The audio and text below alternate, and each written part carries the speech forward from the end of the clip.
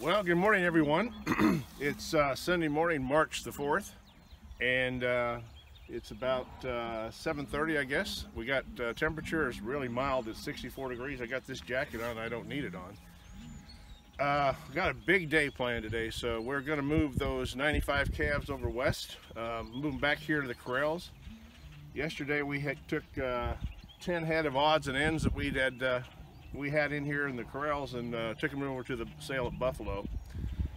And uh, these, whatever we can get gathered up over west there, we'll get them into the sale at Bryan uh, on Tuesday. So we got uh, young Mr. Luke coming over today to help us. He's going to bring his trailer, so uh, we should be able to get uh, them cattle brought back about 15 per load, about seven trips, something like that all told. But we got the corrals all emptied out. The bull's been turned out with the cows. Uh, and so, uh, you know, the, the work, uh, the daily work here is going to start tailing down a little bit for us. And so uh, uh, Michelle's certainly looking forward to that. but we're all set up here to receive those cattle. Uh, got eight feed bunks lined up here. We'll feed them Monday morning. and then Mr. Luke, while I'm at my day job, Mr. Luke's going to haul them on in there to the sale barn for me. So it's going to take him a few trips too. He'll, he might start Monday afternoon and finish up Tuesday morning. But uh, here we go. We're going to have uh, some good uh, some good aerial action from the drone and uh, and maybe some other shots mixed in there. But should be uh, a nice action-packed video for you. And unlike the big Hollywood moguls, I'm telling you what we're going to do before we do it. We don't shoot the introduction after we shot everything else. So I'm predicting it's all going to go well. Uh, we're not going to get all 95 gathered up, I don't think, but I think we're going to get uh, above 90 somewhere and get them all moved back here. So uh, hope you enjoy this. Uh, uh, should be a fun day.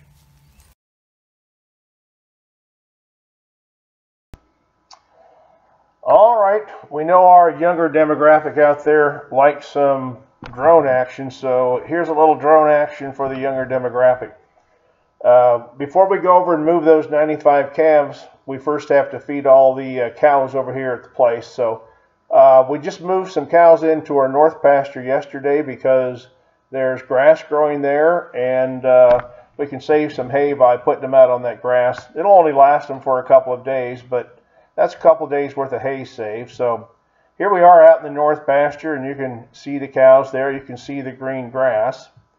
If you look at this brown area directly ahead here, that's hog damage.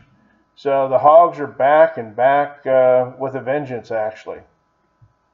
Um, but you can see the grass is really starting to grow. I don't think you can tell so clearly that the leaves are coming on the trees, but certainly the leaves are coming on the trees. Uh, probably another two weeks and, and it'll be way, way more evident. All right, so now we're out in the middle of the pasture where uh, there are no cows right now and headed back up towards the buildings there. So uh, we've been, uh, the cows that are in the north pasture have been in this pasture up until just yesterday. And uh, there you can see all the corrals and uh, small pens are also empty. All right, going to bring her in for a landing here. Uh, you can see uh, the stock trailer there and my pickup, so I've got it all set to go west there whenever, whenever we get these cattle fed over here. So see if I can get this thing landed without crashing. So you may, may have noticed I figured out how to do double time today. So uh, this uh, drone segment's all been filmed uh, two speed, double speed. So I think that's kind of cool. How you doing there, buddy? You're looking good.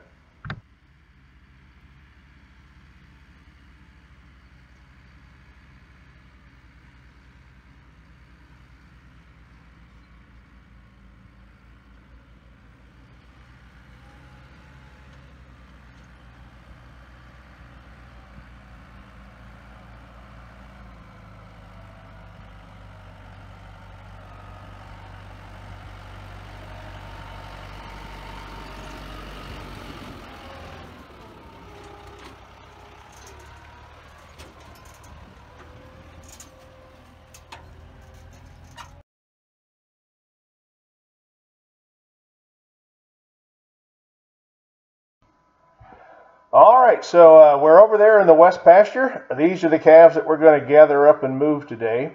Uh, they're about uh, in the middle of the pasture right now. We need to move them down to the north end to uh, to where we've got the feed bunks and we've got uh, the trap all set up. Uh, so I'm going to hop in and we're going to kind of fast forward down to the other end here. This goes incredibly well. So yeah, I've put this up on Facebook just because even I'm amazed that uh, the gathering uh, went as smoothly as it did, but it really went smoothly. Uh, we were able to get them all in as uh, that Facebook video will show just really, really quickly and and kind of kind of amazed us. So here I am. I'm just pulling up to the trap. Uh, the feed bunks are all in disarray, so I will uh, stop and after I get this drone positioned where I want it, I'll get out and I will go straighten all of these feed bunks up so that uh, Michelle, who's coming behind me here, won't have to get out and do that, but she'll be able to just uh, go ahead and get, uh, get the pellets put out there, get it done. So right uh, here, I'm going to kick her up into double time. I just figured out how to do that today. Michelle's been uh, here helping me put this video together, and she thought that'd be kind of cool if we could uh, uh, accelerate the speed without having, that way we could condense the length of the thing without actually getting rid of any footage. So, so that's what we decided to do, and actually turned out to be pretty cool effect, I think. So here we go. I got uh, the last feed bunk to get straightened up there. Both ends are open uh, in this trap now, and so we'll fill cattle from both ends. I'm going to go ahead and pull in this one side so that um, uh, it'll be a little bit easier to close it up at the very end. And then uh, here comes Michelle into view. So she's got the little Katie with the feeder on the back of it. And uh, she's just going to put some pellets in all six of those feed bunks there. All right, I just dropped it back down to regular time. So this is not um, high speed or uh, anything, but I'm about to kick her into four speed here. So I, I found double speed, I found four times. There's four times. Now I'm just going to be quiet and let this thing speak for itself.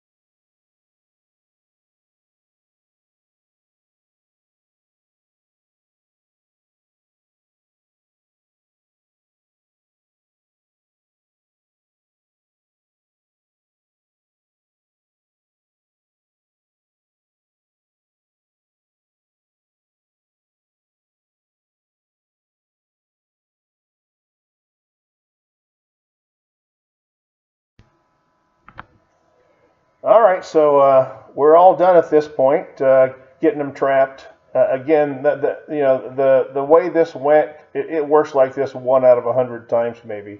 I'm going to claim it. I'm going to own it. I'm going to be cocky about it because uh, you know I just happened to videotape it the one time out of a hundred where it actually does work. So at this point, we're uh, going to head back to the place, get the pickup and trailer, and uh, start hauling them out of here. So we did get them all hauled out. It took uh, seven loads. Uh, I hauled five loads, and Luke come over and helped uh, with the last. He hauled two loads then as well. Uh, on the, I see, was my first or second load. Uh, I was headed. I, I, was loaded up, and I was headed back towards the highway. And I just uh, first load. Michelle says I got stuck, and so we lost a little time there while we went over and got the tractor to pull that truck out but it's real soft. I mean, the you know, it, it uh, it's been a fairly dry week. We would have had no chance of doing this last weekend. It was just too sloppy out there. Uh, but it really feels good uh, to have all 95 of those calves move back uh, to the house. And so if we're able to get them into the sale barn, uh, we're going to get them sold on Tuesday. It's, it's an iffy proposition only because uh, we got an 80% shot of rain tomorrow too, but I do expect we'll get them in and, and that will be successful. So here is a shot of Michelle just leaving uh, that west pasture in the Katie. Uh, she's uh, she's got it going on there, and uh, that's quite the little outfit. Uh, she's had good luck with it this winter, and it's really served us well.